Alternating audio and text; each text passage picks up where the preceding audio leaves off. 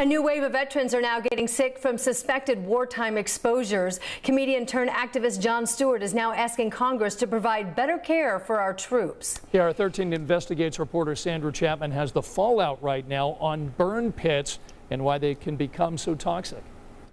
And so our veterans lived 24 hours a day, seven days a week, next to toxic smoke. Former Daily Show talk host turned activist Jon Stewart took to Capitol Hill to raise concerns about burn pits. Burn pits are open air war zone garbage dumps containing everything from human and medical waste to ammunition. But the piles just don't sit. They're set afire with jet fuel, creating a toxic mix. 13 Investigates first heard about burn pits in 2017 from a now deceased Iraq War veteran. I was working around like chemicals that were hazardous. Specialist Ashley Shelton was sent into a combat zone in Afghanistan despite five positive pregnancy tests and unexpectedly gave birth there. She was part of the 12th Combat Aviation Brigade and talked about her exposure to the burn pits she fought for and finally received full disability before her unrelated death last year.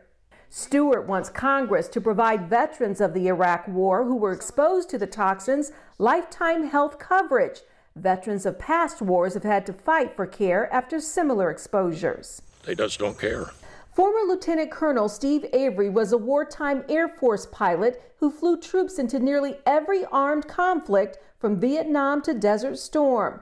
Those veterans were exposed to Agent Orange, toxic sprays, and more.